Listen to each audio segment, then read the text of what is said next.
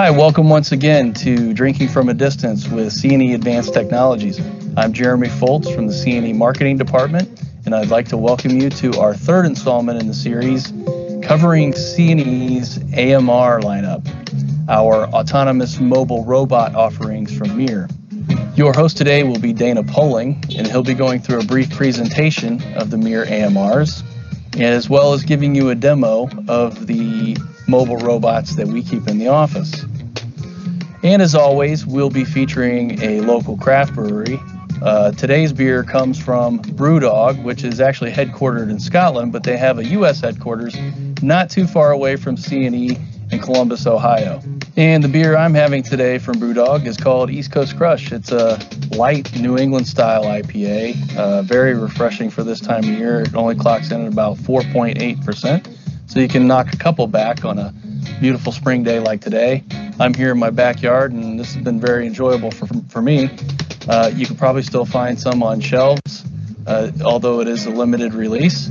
Uh, but I would definitely recommend this one. It's uh, it's really got a great aroma uh, and a, a great flavor for this time of year. Now, our goal is to bring you something that is both informative yet fun. However, C&E does not endorse drinking at work of any kind, nor do we endorse the beverages that we're featuring here today. Uh, we're simply just sharing some of our favorites. And with that, I'd like to say cheers and I'll throw to Dana.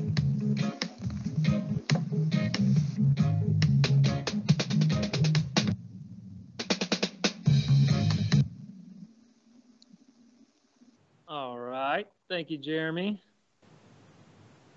Five here. I think we're ready to go. Excited to be at the office today. This is week three for our Drinking from a Distance series. And uh, be talking about one of our favorite topics today, our mobile robots from MiR and AutoGuide. And we're also pretty excited to be talking about Brewdog, place that we kind of love and kind of where our Cobot happy hours have started. Um, so just kind of a reminder at the end of this, if, if any folks that are out there weren't on the first two weeks, we will do a quiz at the end. That'll be 10 questions, 10 seconds apiece, and we'll have prizes for the top three places. Uh, today we'll have some C&E pint glasses and a couple other cool things to talk about once the quiz gets there. But we got a lot of stuff to cover today. Um, we're probably going to push up against an hour. I'm guessing we got a lot, of, lot of stuff to get get through. So let's jump into the uh, over or overview for the MiR products. Bring that thing up here for you to see. Should be coming up now, hopefully on your screens.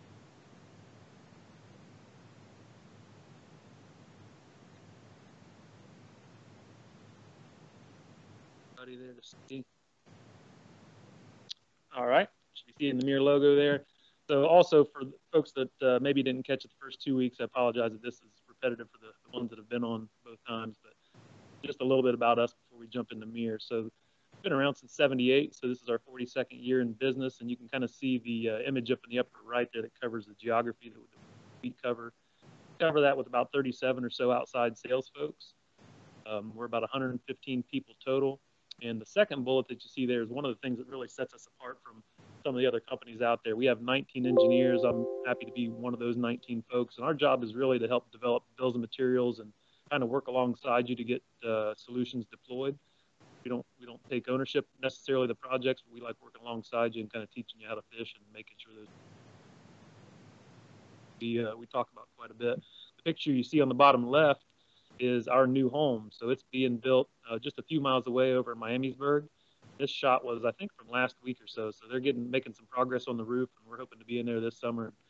Looking forward to that. Uh, this is a little bit just about the product lines that we carry and product groups.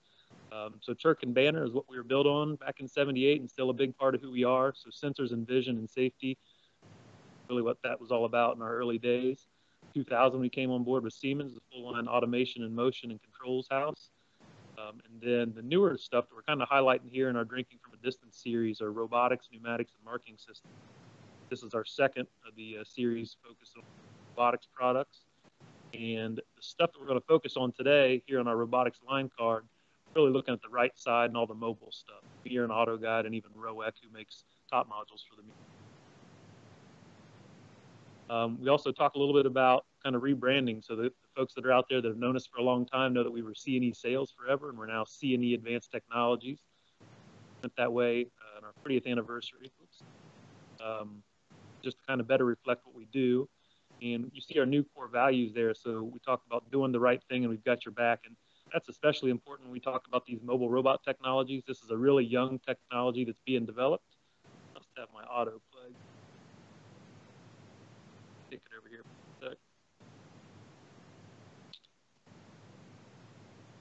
Um, so this is a young technology here with um, with the mobile robotics, and just something that I always make a point when we talk about these to kind of tell you that we're not here to sell you a robot and run. We want to make sure we get you the right robot and uh,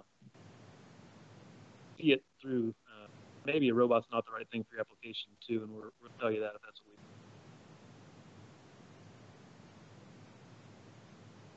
So why are we talking about mobile robots? I guess that's kind of our question.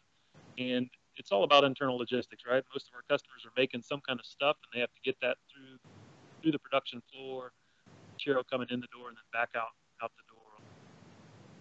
Traditionally, that stuff has been handled by fork trucks or by AGVs that follow tape in the ground, or by conveyor systems that aren't flexible at all. Stuff to change. Uh, it's also the, the really big driver recently has been people, right? So folks pushing carts. Those guys have been really hard to find find somebody that wants to get out of bed every day and come push carts around on the cart. That's really what's driving the market here for these. I also talked in our first week about how new technologies really advances society and advances folks. There's a lot of discussion out there about robotics taking jobs, and I think we need to change that conversation. I don't think they're taking jobs. I think they're just eliminating the jobs that people don't really want to do and giving them an opportunity to step up to something that's a lot more purposeful. That's kind of what this graphic shows, taken from an A3 conference earlier. we also talked about these jobs that were kind of uh, made obsolete by new technology showing up. So the lamplighter, the ice delivery guy, gals running the switchboard down there. I'm also a personal example of that. I worked straight out of college, a uh, plant that made TV picture tubes, the glass for those. There's not much of that stuff being sold. That's kind of how I got to, to C&E, and I certainly consider myself better off for that. All right, so the one term that we want to kind of drive home here is AMR instead of AGV. So AMR stands for Autonomous Mobile Robot. Jeremy kind of alluded to that in the introduction. This automation, this animation kind of shows you what that's all about. So the AMR is intelligent enough to figure out that something's in its path and it navigates around it, where the traditional AGV, the things that kind of follow tracks on the floor, you block its path, it's got to wait for that to be removed for it to navigate around that. So that's a big differentiator between the AMRs of today versus the older AGV these are the five robots that MiR makes. The fifth one was just introduced last month at the MODEX show down in Atlanta. Um, and the way they do their model number schemes, the numbers that you see there represent the payload in kilograms that you can put directly on the robot. So the MiR 100, for example, is the smallest payload unit. It's 100 kilograms you can put directly on it. And then the MiR 1000 is the biggest one, so 1,000 kilograms directly on that. And there's a couple of different things we can do with the robots to kind of modify that. Um, we'll talk about that as we kind of get more into the product presentation here's a timeline of just the, the company of MiR. So you can, like I said, this is a young technology. These guys haven't been around very long, and really nobody in this space has. Um, so the founder kind of made his first model out of Legos back in 2011, established the company in 13, and uh, partnered up with the current CEO in 2014. Um, their first robot was just launched in 2015, so only five years ago. And basically, every year since then, they're releasing maybe one robot or one significant technology module to add to their lineup. Um, the most recent of those, like I said, is the MiR 250, and it's kind of the star of the show on the smaller robots. MiR 1000 was launched uh, last year. Two things we've highlighted in the bottom of the timeline in red there are two things important to us. So in 2016, they came here, established their operations in the U.S. and New York. That's also when we began working with them as a distributor. 2018, another really big thing on their timeline happened. They were bought by a company called Teradyne. We're going to hear more about them as AutoGuide has also been recently by Teradyne. That's kind of what spurred on the partnership that we have with those. So there's a lot of people in both this cobot market and the mobile robot market, um, just smaller companies, and probably a lot of those guys that just aren't going to make it. So it's really nice knowing that they've got a company the size of Teradyne behind them to uh, to know, give you a little peace of mind that these guys are going to be around for a long. A little bit more about Mir here, so you kind of see some of their locations. They're based in Odense, Denmark. Uh, there's several other robotics companies there. There's, several, there's over 100 robotics companies there that have all spun out of kind of one university. Um, Mir themselves are about 220 people around the world, and they're still hiring, ramping up for sure here in the U.S. and other parts. Kind of see their growth. They've hired maybe 100 of those folks the last year. And the small blue dots that you see are the distributors they have all over the country. So if you're a multinational user out there, there's a good chance that there's a distributor or a Mir office that's fairly close to you. Here's a little bit on the sales, kind of where they've come from. You can kind of see this how this ramp up is happening here. So last year, uh, they finished the year at about 44 million dollars in sales, and uh, certainly look to make that big jump again this year. And so far, we've had uh, a lot of users that have just had one or two of these things in R&D, kind of lab, prototype sort of environments. This year is really where we're starting to see people deploy fleets of these now, 5, 10, 20 of these things at a time, So that's just really starting to take off, and it's going to lead to some much bigger numbers here. See the bottom, I just kind of included this product adoption curve. This is a general technology adoption, just to kind of put in perspective where I think we are with this technology. I think you know where we're at in this curve is still early on. We're in the early adopters of the visionary stage. People refer to it kind of as a baseball game, being maybe in the second to third inning now. It's going to be pretty exciting to see over the years what's happening here. Uh, just kind of a question that comes up quite a bit. You know, how many of these things are out there in the world actually working? So far, we've got about 3,500 robots out in the world, and you know, for the past several years, North America has represented about 30% of that market. Here's some of the big customers they're working with. We've got a few of them here in our tri-state area that we've been fortunate enough to work with. You know, you see places like Toyota, Schneider, and P&G, the uh, Whirlpool that are all kind of our territory here. Companies that are all working. So let's talk a little bit now about how the thing works. Uh, the laser scanners are a big part of what's going on here. You know, we talk about uh, natural features and there's no infrastructure changes required. And that's true for both Mir and AutoGuide as we look through this. A lot of the things that I show you here as part of this Mir presentation really apply to AutoGuide as well. Laser scanner or LiDAR SLAM is, is that. SLAM stands for simultaneously localization and mapping. It's done with two laser scanners uh, Mir robots. So you can kind of see the graphic on the right there's a laser scanner up in the upper right and then on the lower left. So it has 360 degree coverage of the area around it. Kind of shows you the different warning zones, and we'll see some different graphics that show those different warning zones. Laser scanners look out quite a quite a ways when they map the area um, getting started. This little animation here kind of shows you this. What you see on the right side of this screen is Mir software. So once we go through this presentation, going to jump into the, so- the software live, so I'll show you a lot more what's going on there. But that's what you're seeing. He's driving this robot around with the joystick and creating the map. So this just kind of shows him doing that. This is you get the robot out of the box. This is usually about the first thing you do. Again, we're going to do this live here in a few minutes. See what that really looks like. But you see, as he's driving it around, the laser scanners are relating information back to the encoders on the wheels on the robot, and it's just uh, using the software there to build out his map these things that are on that map that are both static and dynamic. And once you create the map, one of the things you do, uh, first things you do is take off a lot of those dynamic things. If map, carts, or fork trucks, or something that aren't always going to be there, go ahead and clean that up. And that's kind of what we're talking about here on the right side of this slide. Um, that shows a cleaner map over there. Uh, but if you do map some things that are dynamic, not the end of the world. The robot really only needs about 35% of that mapped information to localize itself and know where it is. And then left again is another example of the different zones, the safety zones that are on these robots. So they're showing some different zone sets there. So the robots will switch those zone sets based on the speed that it's driving. The faster it drives, the further out it has to look to make sure that it can stop in time to be safe. So let's go a little deeper on some of the products here. I don't know if we need to hit on all of them or not, but the one we've got today uh, that we'll show you live is the Mir 200. So the 100 and 200 are both the same footprint. They're just geared a little differently uh, for the different payloads. And the 500 and the 1000 are also the same footprint, same thing, just geared a little differently. Those are the heavy movers. And the new guy in the middle here is the Mir 250. It's kind of a unique size, smaller yet than the, the 100 and 200. Let's go look at the 200 here just to kind of get an idea what it can do. So we talked about the 200 number being the payload of the robot that you can put directly on it, so 440 pounds. Uh, you see a towing capacity spec there that we'll talk about with the MiR hook. So if you put a hook on top of this thing, it can uh, pull a cart up to 1,100 pounds. Uh, precision is another question that comes up. You know, if you just drive this thing from spot to spot out in the open with no other markers, it's good to about plus or minus two inches. And if you add what, to as a VL marker, which is really just a small bent piece of metal that has a 120 degree angle in it with a flat beside it, the robot can use the laser scanners to detect that VL shape.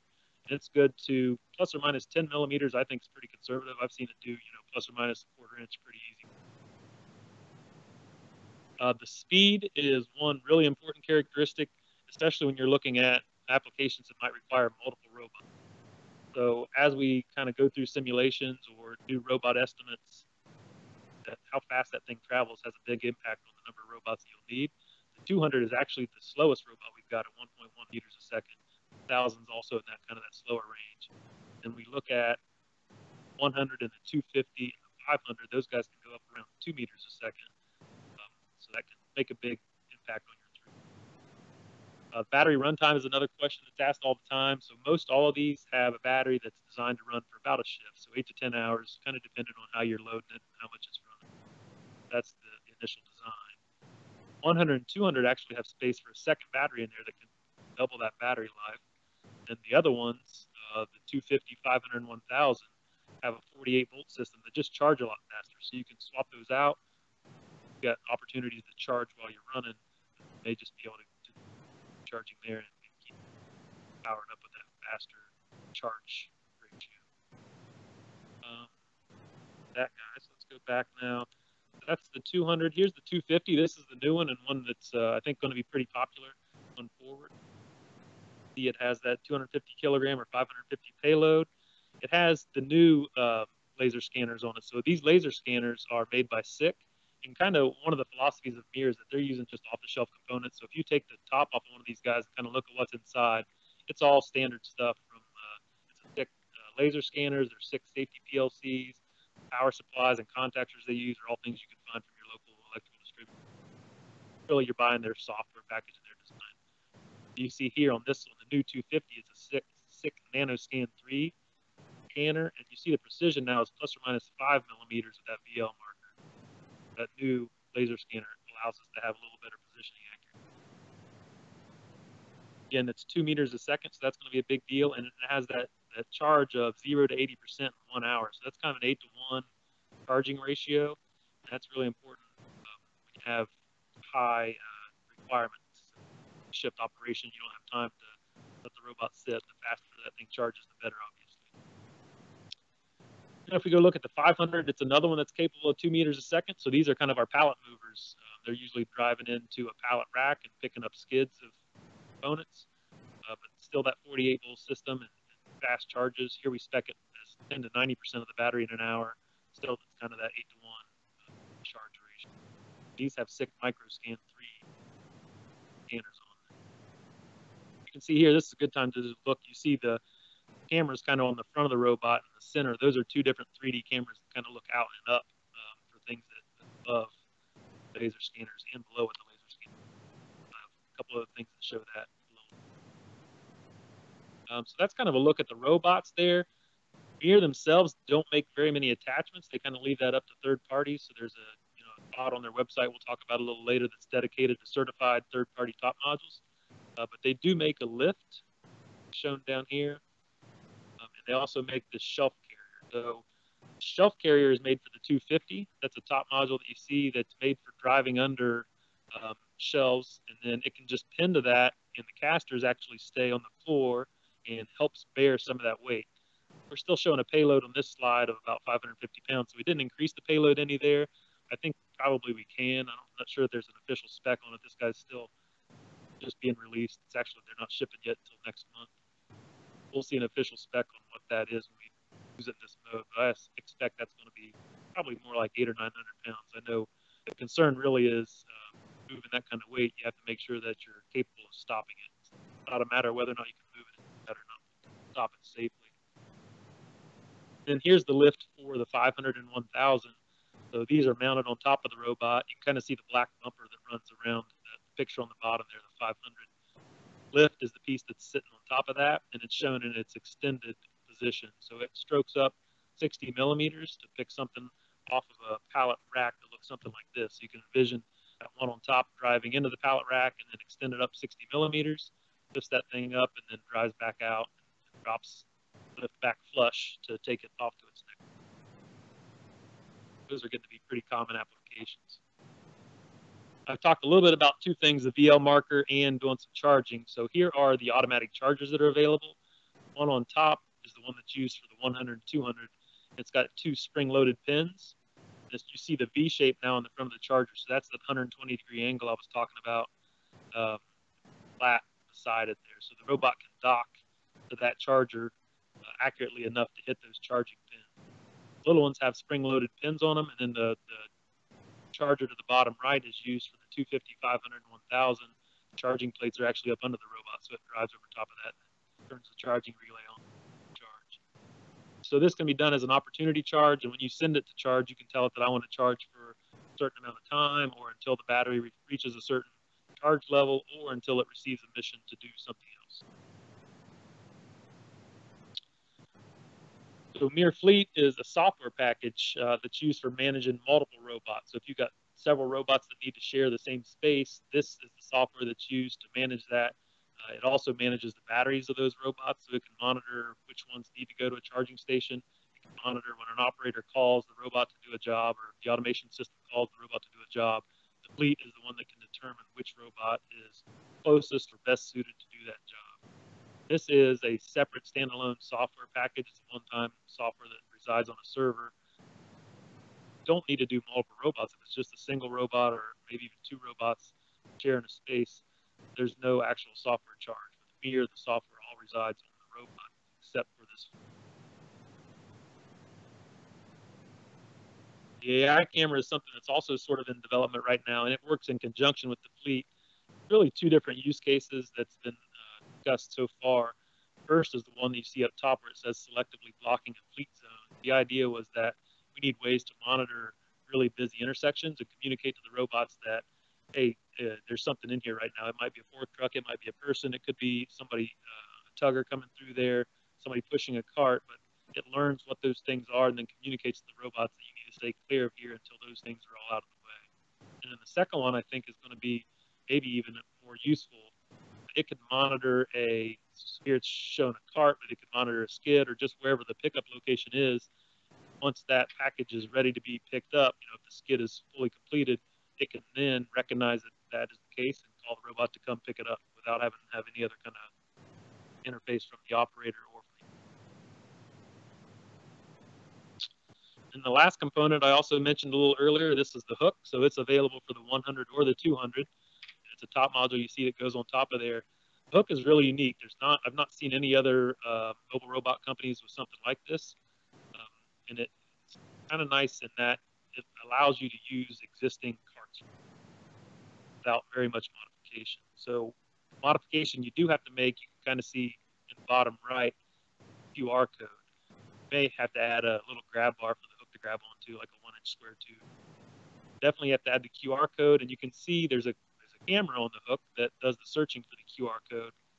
And that's how the, the robot knows dimensions of the cart, and it also knows exactly where it's located so it can dock to it and pick it up. So sees, it knows how big that QR code is, and it sees the angle that it recognizes it at, and then it can dock properly to that, pick it up, and drive away.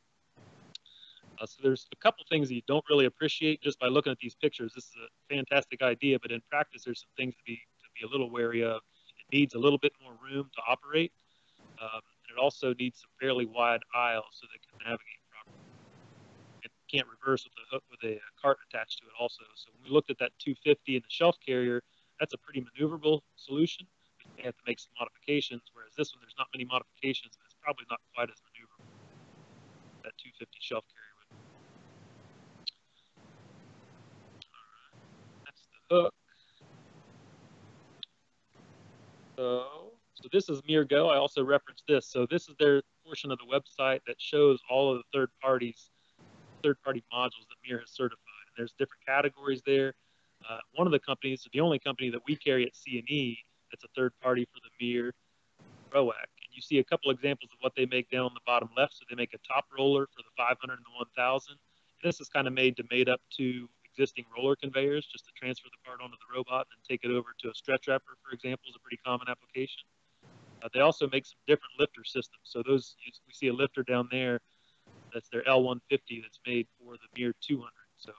MiR makes some lifts for their bigger robots, but they don't make one for the smaller ones. That's where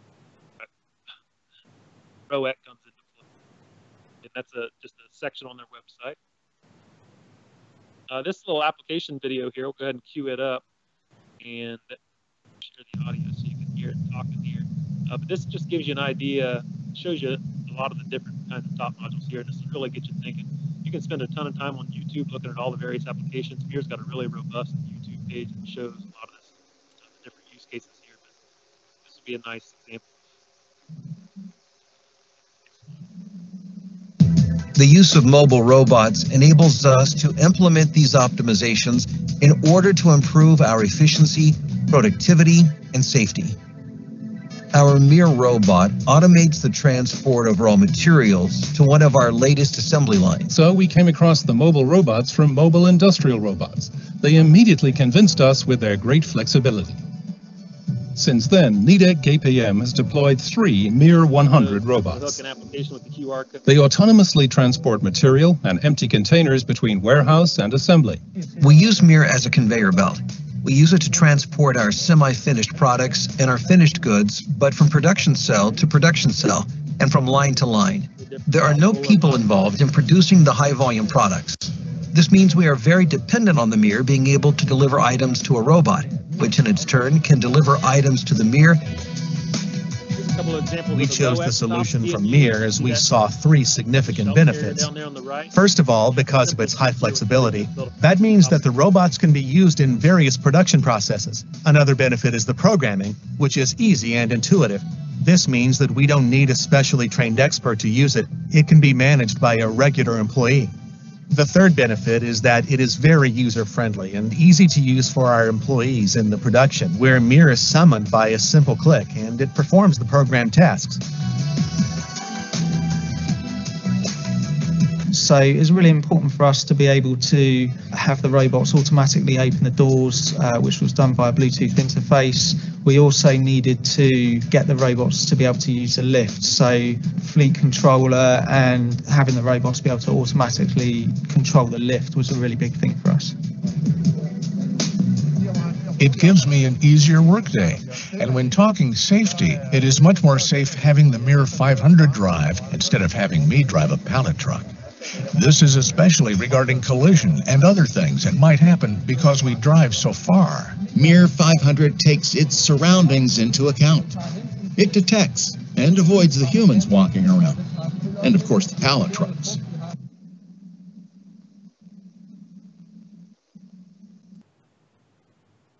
All right, so hopefully that gives you a little idea of the way these things are used. Uh, let's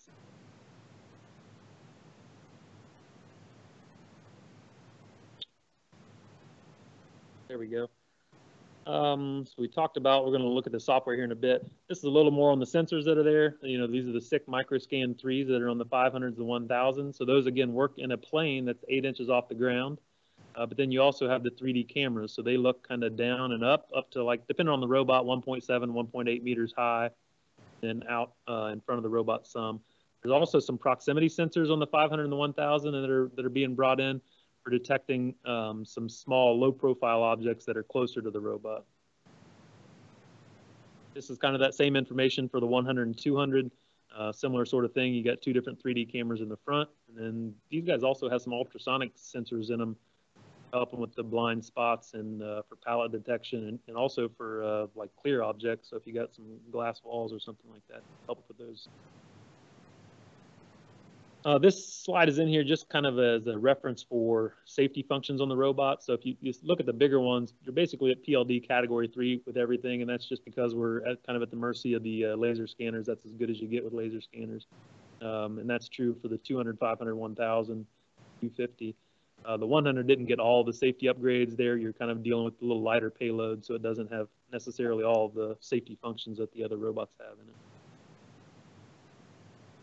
We talked about this a little bit earlier also, but this is just a different look at it. So kind of showing you the different speeds that the robot's driving at and how far out in front of the robot those safety fields are. Again, the faster it drives, the further out it looks, forward and reverse. That's what it looks like on the MiR 200, and here's what it looks like on the MiR 500. This guy now, we're, you know, we could be carrying a thousand pounds. So as this thing gets up over a meter a second, it's looking out 135 centimeters ahead of it. So it's looking out, you know, whatever that is, four feet or so for us here in the U.S. It's got to make sure stopping time is the critical thing here for it to be. Um, so ownership, we, you know, I talked earlier about C&E. We, we want to transfer ownership to you. We, this is not something that we want to integrate and, and own. Uh, we certainly want to be able to, to, have a product champion at your facility that is familiar with these things. And uh, the software is such, you'll see here pretty soon that it's, you know, it's pretty intuitive and certainly something you can get your hands around. But MiR has made it really e easy uh, with MiR Academy. So this is a free online training that's really well done. They've actually just in the last couple of weeks put several different videos up that are super helpful that are like five to eight minutes long for some of the common things that trip people up. Um, you see that there's also no cost here with altering setup. So this is something, again, the software resides on the robot. There's no cost with this thing having to be tied to the cloud. Kind of yours to control.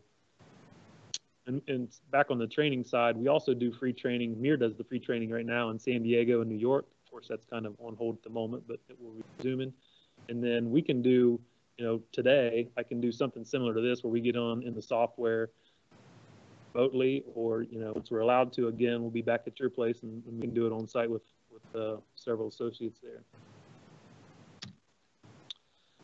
So this is the big slide, right? This is kind of what everybody wants to know. How much of these things cost? What's my return on investment going to look like? And that's kind of what I'm just trying to put into perspective for you here. So I like throwing some ballpark numbers out just to let you know where you, you know, give you an idea of where you're at, um, and then put it in perspective. So these robots cost roughly the same as what one person does for a shift for a year. So you see my funky little uh, new currency there that we developed this SPY, the shift person year.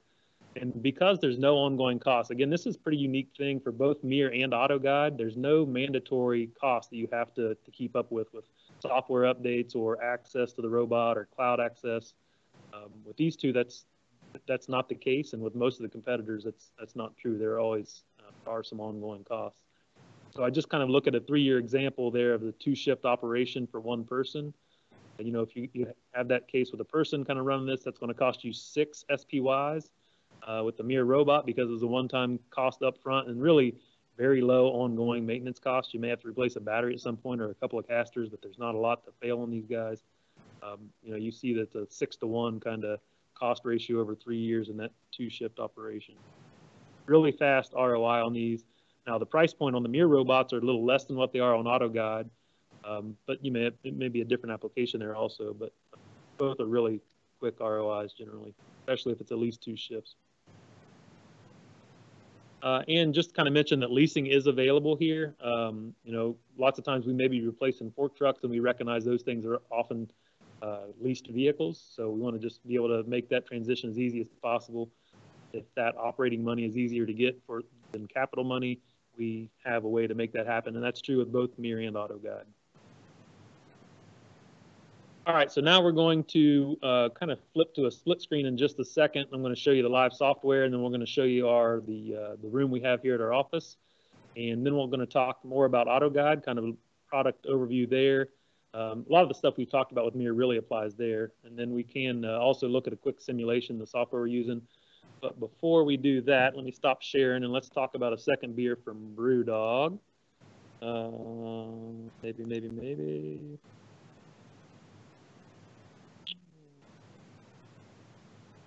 There we go. All right. So the second beer that we have, so Jeremy did a nice job introducing BrewDog, and actually um, our first Cobot happy hour that we did was at the BrewDog facility down in Canal Winchester, which is just on the south side of Columbus, pretty close to where I grew up. So they built that, at least they started construction in 2015 down there, and they actually have a hotel attached to that place, a really nice restaurant. And the place that we did this first Cobot happy hour in was museum. Uh, so it worked out great. They had a couple big screens there. It was a really nice facility. Uh, but the second beer that I've got here is this Hazy Jane. So this is, is somewhat similar to the one, the IPA that Jeremy had, kind of that New England hazy IPA thing. And again, for as our days turn a little sunnier here and more spring-like, um, they're pretty tasty, pretty tasty beverages. I kind of like the hazy IPA. If you were on week one, uh, we talked about the Who Cooks for You from Jackie O's. Uh, it's got a similar taste to that. A little, little hoppier maybe than this last IPA that we'll talk about, maybe a little more so than the one that, that Jeremy had. But um, I think with that, let's kick it over to our split screen view and we will show you the software and then we'll show you the office setup that we have over here. audio there. Wait, wait, for those things to pop up for you so you can see what we've got going on. We kind of have our office set up in our uh, dance party mode right now. We've got the ballroom set up over here, so you see a big cleared out area. Um, if we can get to the split screen there. Just seeing the map now, so we need to. Got the split screen? Okay, all right. Yep, so you guys should be able to see everything there. we got some space cleared out in our conference room here. And what I've got running right now is just a little, a simple uh, loop mission. We've got three positions that are that are in the software. This looks a little like what you saw earlier, uh, the video, the guy making the map. So I just kind of ran this thing around and made a quick map here. Uh, so the black stuff are the walls, and then we've got some tables and chairs that are here. Uh, we've got some red areas that are forbidden zones, so just kind of keep the robot from getting in trouble. What you see, some of the you see some red flickering dots in there, so that's live laser scanner data you kind of see me down on the bottom right. You see those red lines kind of swinging around. That's actually my leg kicking out from under this desk. And I've got a mission here, this 200 demo loop with try catch. I go ahead and fire that thing up, and this is that software interface we looked at earlier. This is just kind of a built-in HMI that's in the MiR software. So you've seen the MiR just kind of took off from that first point. You see the blue dots showing the route that it planned to get to the second point. It gets in the orientation it plays a little R2D2 that I told it to play. This this uh, mission that it's running right now just will run back and forth between these two positions. It'll get over here and you can kind of see it. It probably will show us a little different color. Give you a little bit of Arnold there and head back out. It's just going to keep running back and forth while I do that. If I actually walk out and get in its way, this is back to that AMR technology where it can kind of see me and navigate around me. May not hear much audio as I walk over here here now, you'll notice that it's about around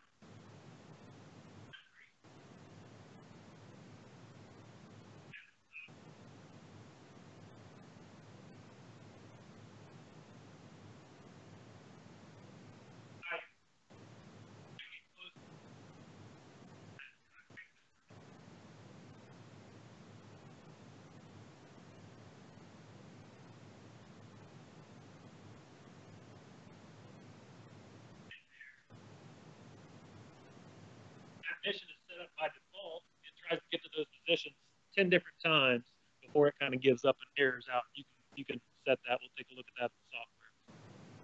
I want to pause that guy. And then what we'd like to do is just kind of show you how that whole thing looks from scratch. But this is our end product here. We've got a map with a few positions running a decent loop. Dashboard. We'll come back and talk about dashboard a little bit. Go ahead and take that mission out of the queue and let's just see what that looks like from So to do that, we got to create a new map. So we go over here to setup and maps. And again, I'm just connected to, I'm actually on our internal network in the office and the robot connected to that also. I go down here and look at my, I think you can see the available Wi-Fi networks. Maybe, maybe, maybe.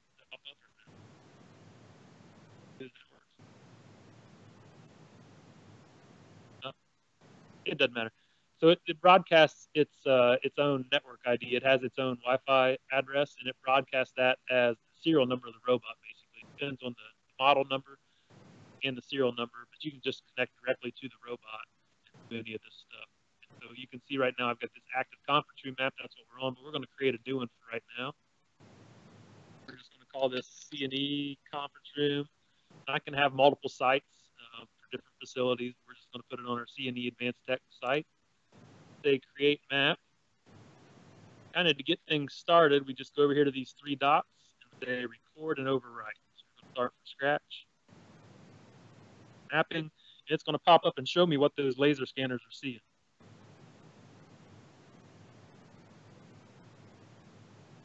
So that's what, as it sits right there, kind of over there by the doors, it's just seeing, you can see that, you know, because it's static right now, there's a lot of blind spots behind some of these tables and chairs that are over there. Here's that joystick that you saw in the video with the guy driving around. I can go up and grab that thing. I put it in manual control.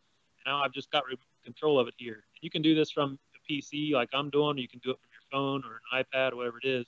You see as I drive it around, builds that map up just like you saw in that video earlier. Or you drive it around, you know, it'll start filling in some of those blind spots. Need to be too worried about all those. So it maps anything it maps as white is stuff that it considers a floor and place that it can drive. The stuff that shows up as black are walls that it has to stay away from. And the gray stuff, like you can kind of see behind a, a chair over here, a podium, that, that was an area that it didn't see, so it just left that as gray as unmapped territory.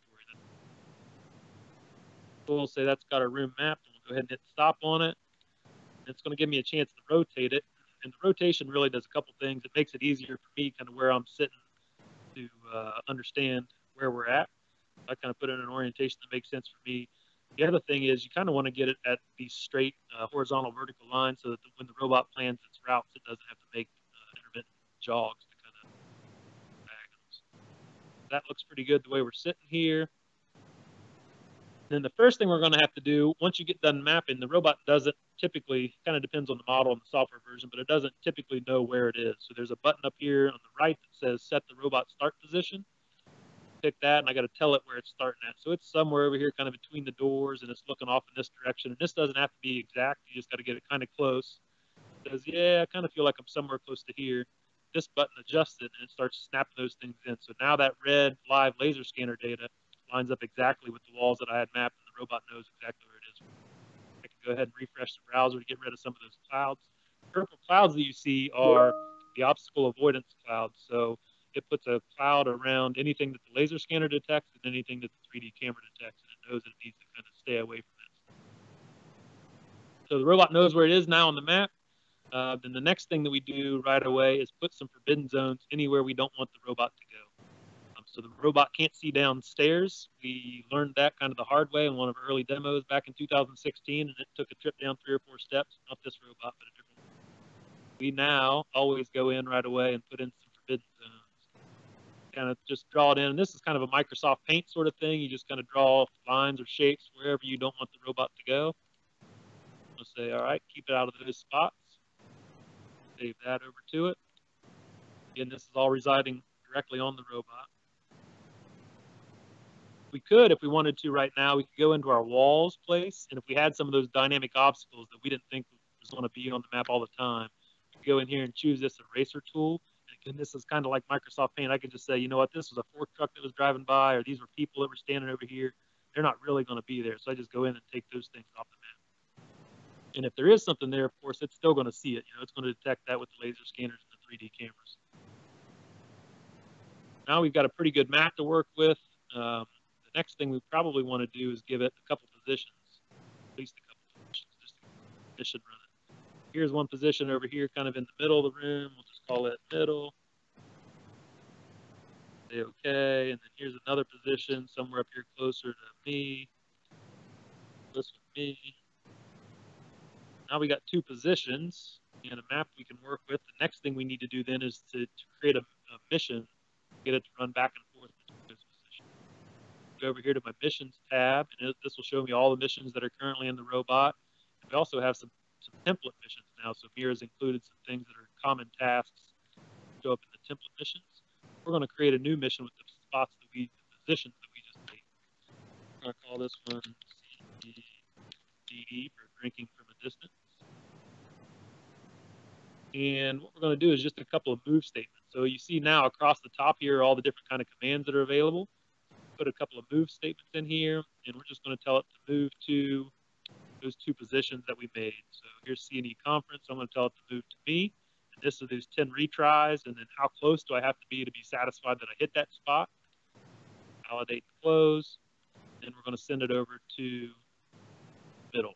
Same thing, validate and close. This is a pretty simple, just go to me, go to the middle. Not in a loop or anything, but just a one-time sort of thing. Uh, so if we go into our missions again now, it'll show those.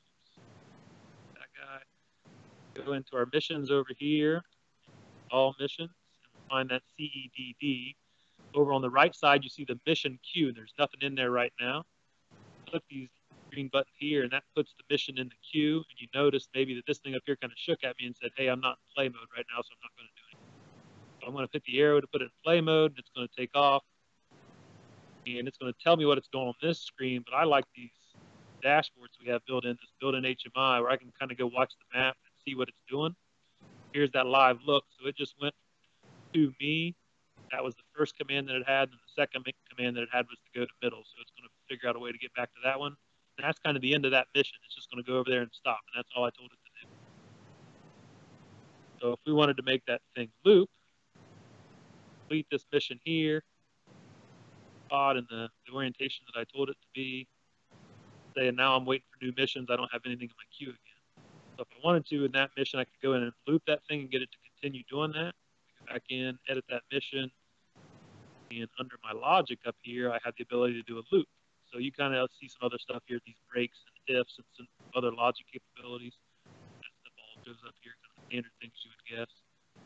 Here now I can drag my move commands inside of that loop and it'll just keep going back and forth. The other thing I can do here is play a sound. So any kind of wave or MP3, you can go in here, pick whatever you want. You know, we got some of the, the common or the fun stuff there, the Night Riders, the Good Morning Vietnam guys. Turn it up to 100 inside here, it'll be pretty loud. Cut it down to like three seconds. And we can show a different color light if you want to do something there. On.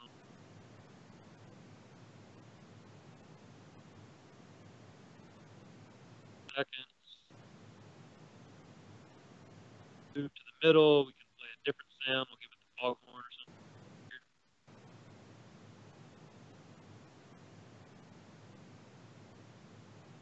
Down a little bit.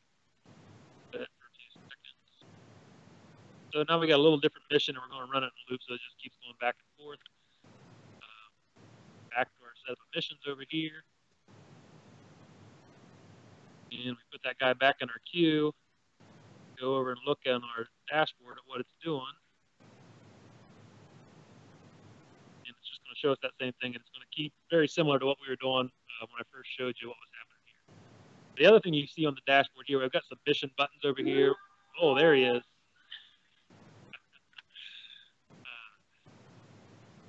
So you see down on the right, I have module one. So one of the nice things about MiR is that they've got some built-in wireless I/O, and I've actually got a box right here. I don't know if you can see on the little screen here, but I've got this box with the with the Advantech wireless module in here that's got four inputs and four outputs.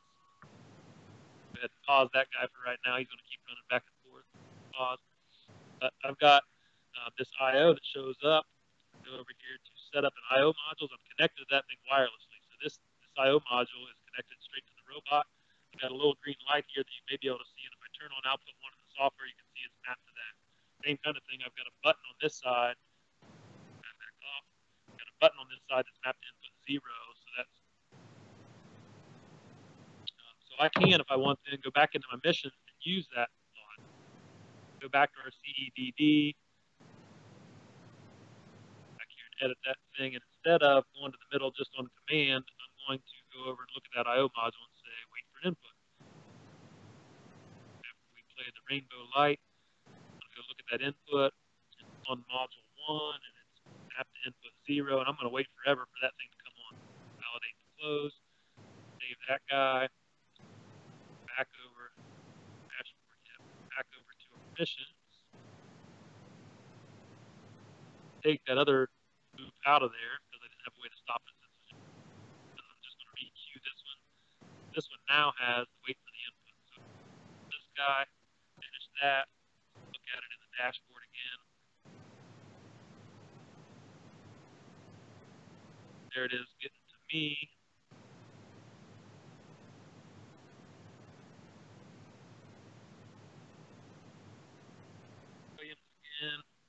Now it's should in the bottom right it says waiting for that input zero, so it's not going anywhere yet until I hit this input. And this is just one simple way for an operator interface. Easy way to make a call button built into the software. You don't have to do any programming to make it really nice and.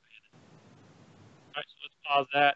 Um, if we go back, I just want to show you a couple things here. We're already at 350, so I don't want to take a ton of time. Uh, but let's go back into our map. I just want to show you a few of the zones that you can put in there. You saw the forbidden zones, and there's several other kinds of zones that are pretty helpful here. And gives you a look at them. Positions we worked on, so markers, the big markers shelf. We pick up shelves like that 250 shelf carrier and charging stations. So if we put those things on the map, you, those show up as a marker, and then you can dock to the charging stations. Fast. Uh, directional zones are you have one-way traffic, especially if there's a lot of fork truck traffic where you're trying to implement your AMRs. Uh, one of the best practices is kind of have them all go in the same direction so they don't have face-offs in the aisleway. Uh, and then we talked forbidden zones, but preferred zones are kind of the opposite. So those show up as a green path map, and when the robot's planning its route, you see those blue dots, that's its route plan. It's trying to figure out the cost of that route. Forbidden zone has infinitely high costs, so it'll never plan a route through that. Preferred zones have really low costs, so it wants to go to. Unpreferred zones are kind of in the middle. It's kind of, you know, we'd rather you not go there, so it's a, still a higher cost, not as high as the forbidden zone, but you can go there if you absolutely have to. And critical zones allow you to plan paths through obstacles things that may show up as an obstacle that aren't really. That allows you to get through that, like a tight doorway or up a ramp, maybe where critical zones let you navigate through that. Speed zones are fairly obvious. You can draw zones on the map to kind of increase and decrease the robot's speed. Sound and light zone, similar thing. You know, if you got a busy intersection, you can draw sound and light zone, so it'll automatically beep a horn and flash a light when it's going around that corner. Um, similarly, the IO module zone, you can turn on just like this I/O module I just showed you, you can turn on an I/O module that has an external strobe or an external light or an external. Planner zones let you do some pretty cool stuff. Uh, things in there you can do like no localization if you're driving down a really long hallway where there's not a lot of uh, geometry for the robot to localize off of. You can just turn off the localization strictly on the encoder information. The other thing it can do that's pretty neat that comes up a fair amount is you can put it in line follower mode. So sometimes folks don't like robot to deviate from its planned path on its own. They want, want to kind of set a path and stick to that path with a traditional AGV without having to put the lines in the floor. Planner zones give you some ways to do that. The last two are fleet-specific kind of zones. So limit robots is just, hey, I don't want 20 different robots in this small little area all at once. Evacuation zones are, you know, can I find a safe space to send the robots if there's a fire or something like that. That's kind of the stuff you can do on the map one other thing I just want to show you that's a newer feature in the software is you can go in and change the robot's footprint. So if you look in there, look on the map, there's a shadow that shows up around the robot. And that's what determines how the thing navigates, how those purple clouds show up, and it, it makes it uh, such that it avoids obstacles. We've got a new tool in here now. If you were to drive under and pick up a wider shelf, for example, as this kind of dimensions, you could just change the robot's footprint based on that. So there's dimensions for the robot, and then it will navigate based on those dimensions, so that shelf wouldn't hit into a wall or any other. Um, so we're already at 355. So let's just jump out of that guy there, um, and I want to talk uh, about AutoGuide for a little bit before we get into some simulation. Jump over here to the AutoGuide presentation.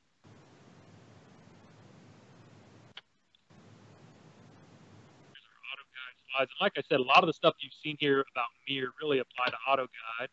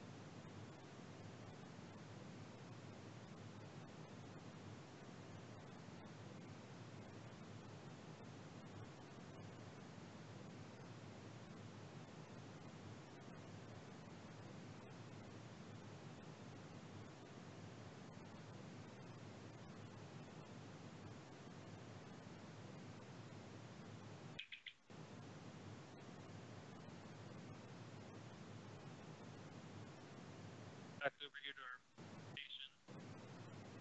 Face back up and that got the uh, core notification going over here. Got a reshare.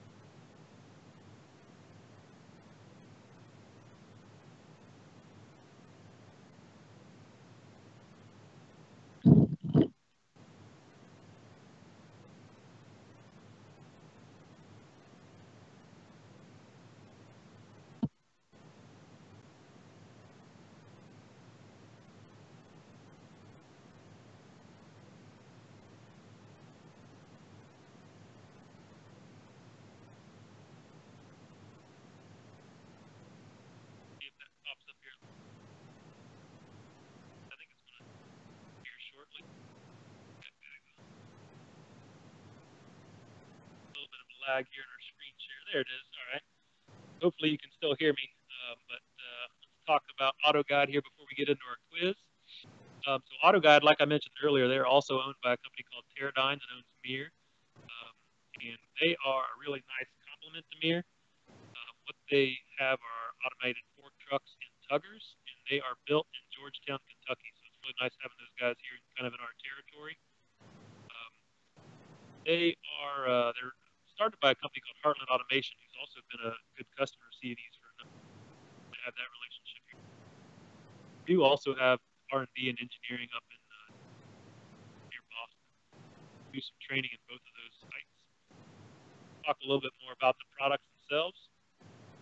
Um, there's really uh, it's a modular platform, so it's the Max N10 or Max N15 now possibly as well. But you, see kind of the uh, assortment of products down at the bottom.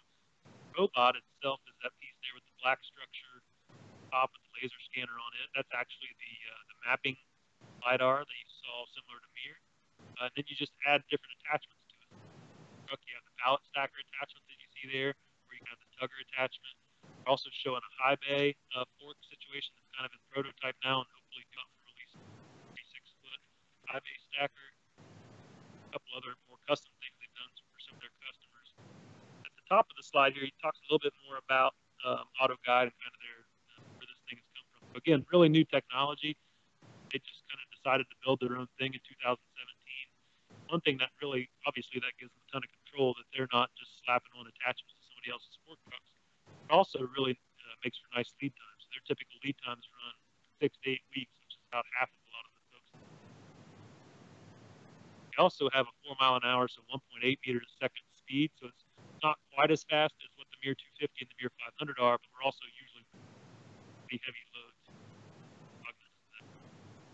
And this is natural feature stuff, so no modifications to internal infrastructure. Also, with off-the-shelf components, open up the side of one of these units, it kind of looks like a, your, your typical. So we talked a little about the capacities here. There's two different versions of the pallet stacker. You've got a 1770 pound version and a 50 pound version, they've got smart pallet finder technology, sensors there that will allow it to find the pallet and place the forks. Uh, Max Tugger is now released up to 15,000 pounds, so that is the, the weight capacity of the Tugger.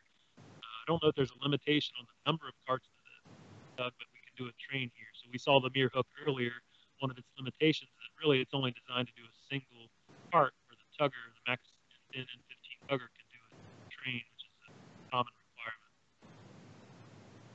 They also have a fleet software package, similar to what MiR does monitors that. There's another look at the adapters. This, uh, this little video here, see if the audio comes through.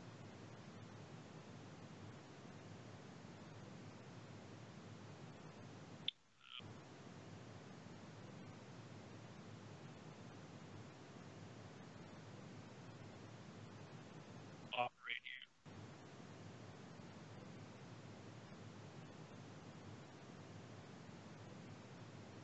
You're not in video.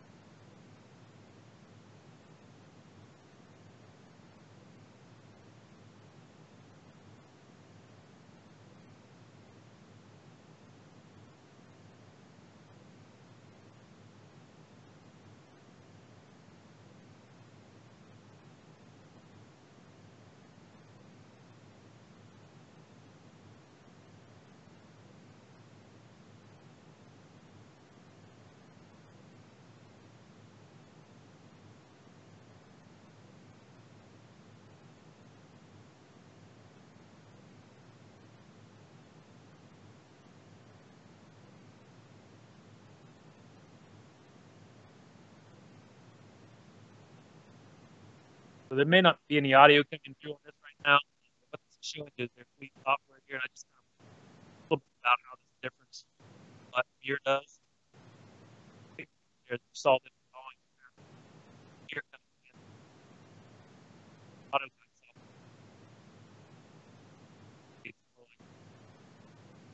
moving heavier.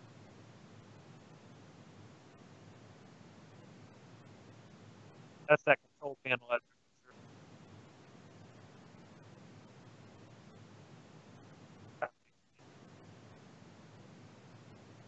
Here we're just talking about the modular design. You got the manual drive option, which is a really nice option for these guys. Somebody can come on and flip a switch and just take control of that thing manually. So just a couple of static shots again on the, the SurePath software, just showing you a little bit about what, how that thing looks versus what uh, what you see from MiR you know, we kind of hope as a distributor here that one day these guys kind of come together on a software package. I don't know, you know, if that'll happen or not, but uh, we're hopeful that, that, maybe some someday down the road we'll be able to control all these from the same package. Uh, what you see here, these black dots, um, the AutoGuide refers to. This is kind of how they do their mission. So they don't have a separate logic editor necessarily, but each of the spots along the path, there's a command that the robot will execute as it gets there. Uh, this being so new to us, I don't have a deep dive on this software yet. We were actually supposed to have training last month, and with our current situation, that had to be postponed. So, looking forward to getting into that a little more in depth and being able to share the software with you much better than what I can today. But that's uh, certainly on the short horizon here. And again, I just you know some ballpark pricing. This is a little different, uh, little different realm for pricing versus the MiR. Do you see fully integrated solutions here? This is not just a strict hardware cost, but these uh, typically we're going to have Heartland or other authorized integrators that we're partnered with provide fully turnkey solutions. So this gives you an idea. You know, it's a couple hundred thousand dollars to get one of these up and running. And there's some benefits to doing multiple robots here. So you know, as you spread the cost of that fleet software out over robots, you do that. They also will sell the robots without the batteries. So if you have a fleet of fork trucks already that use batteries that are that work with the uh, AutoGuide design, you could just continue using those batteries and charging stations. So that's a costume item. Similar to what we did with MiR, you should kind of see some of their big customers here. They're right across the street from Toyota in Georgetown, Kentucky. And obviously, Toyota has been a huge customer for theirs. They had a really big win um, probably a year or so ago. They went through a really long uh, evaluation with Toyota, kind of against their own Toyota material handling system. And Toyota selected these guys as their uh, automated fork trucks and tuggers of choice their global spec. Get an idea, you know, AutoGuide has been a fairly small company, uh, relatively speaking, until this Teradyne purchase. So they've really focused on these big customers. And now, as they're going through distribution and we're, we're getting sorted through there, uh, expect these guys to make a big splash in the marketplace this year. Be a part of. All right, so that's our presentation. So if I get any cooperation at all from my PC here, I'm going to throw over to our, eh, yeah, I think we're going to skip the simulation in the interest of time. We're already well over an hour here, so let's just go straight to the quiz. I will tell you that I'll just throw this thing up on the screen so you can kind of see it maybe. Um, pops up over here with me. If not, there's a package called FlexSim that's a free software package uh, that helps with really estimating the number of robots that you're going to need for your job. So you can kind of go in and lay out your plant facility, correct dimensions, all your throughput information, you know, how many parts or packages, how many pickups and drop-offs do we need to make per hour, robot speeds, and then the amount of time that the robot needs to dock. And you can get a pretty good indication, a nice visual indication of what your robot uh, deployment will look like. We also have some spreadsheet tools to help with that. Get into that too much in depth pushing our time here. Um, may also be pushing my PC's limits. it's struggling a little bit. All right, so let's see if we can get the quiz up over here so we can uh, get the prizes.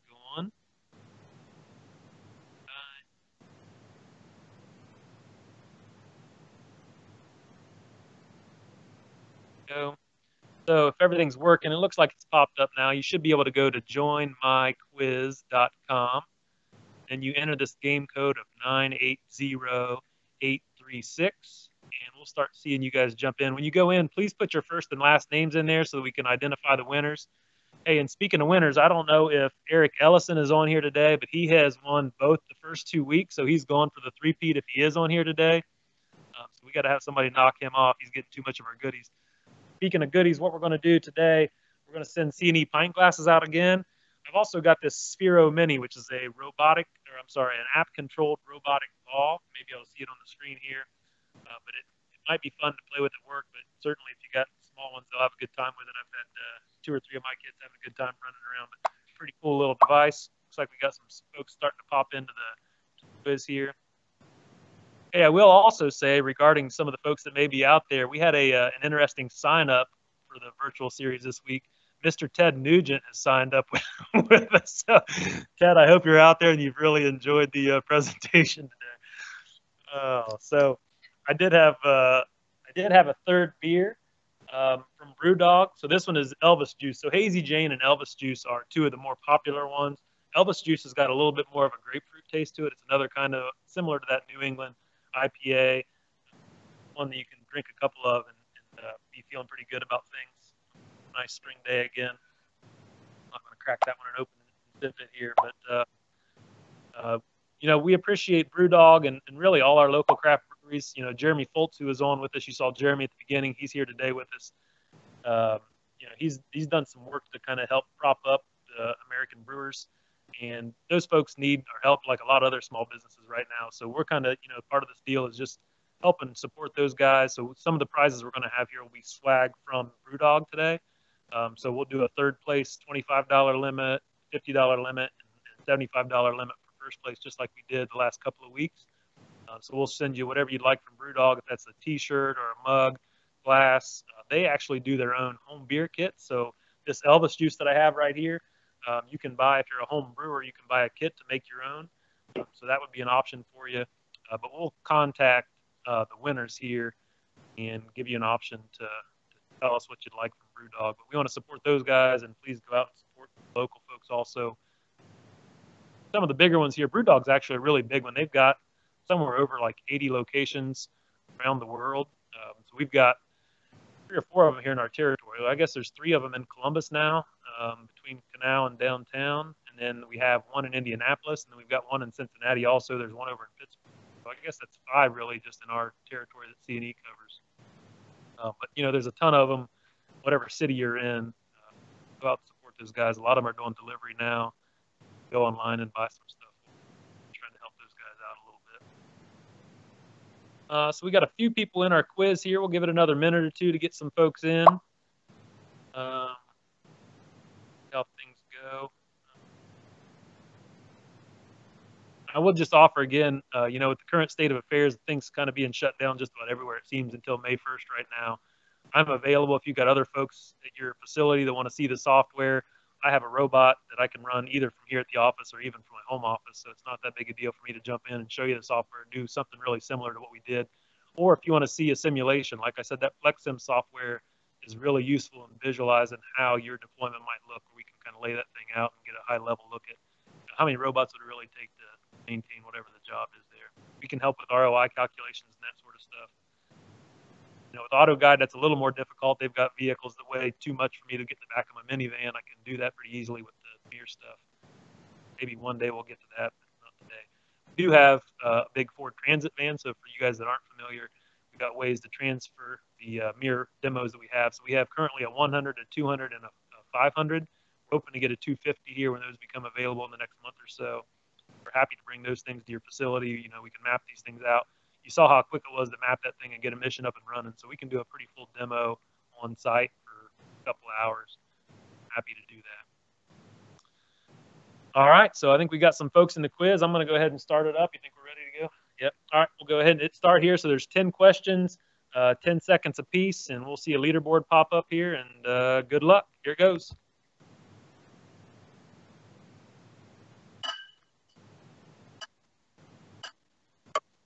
That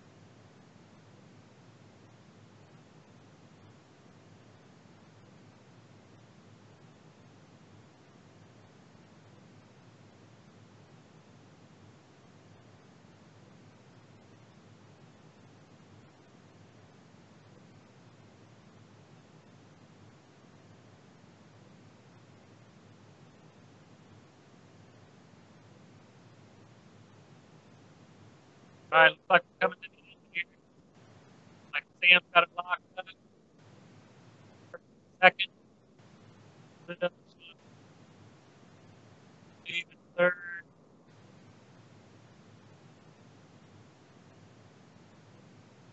In touch. Rudolph.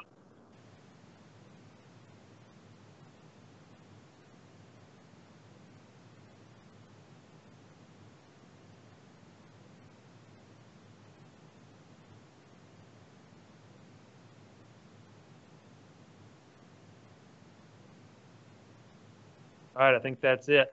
All right, we'll be in touch with the winners. Um, I don't know if you guys got to see the podium there or not, but uh, look like um, Sam and uh, Sean Frost and Jason Marsh. Um, we'll be in touch with you guys either probably probably in the morning. I'll shoot you an email and uh, see if we can't get something lined up from BrewDog. Hey, we appreciate you guys hanging with us. We went a little long today. Sorry about that. Uh, always some technical issues with these things. But that's all right. Uh, hopefully we got most of the uh, points across here, but uh, look to look to uh, see you guys in person really soon. Take care and uh, enjoy the spring weather. See ya.